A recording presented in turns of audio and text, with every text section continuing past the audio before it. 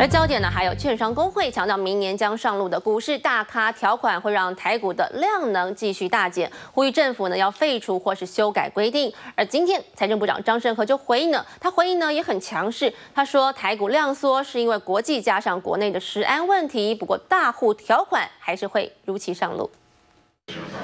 股市大户要课正所税，明年才要实施，现在已经炒得沸沸扬扬。券商工会二十三号公布影响评估报告，强调自从正所税上路之后，台股成交量呢就萎缩将近一半。一旦大户条款上路，成交量还会减少，呼吁政府修改规定。不过财政部长张胜和二十四号强硬回击，认为这样的说法是子虚乌有。券商工会一定要这样讲，他就是要想。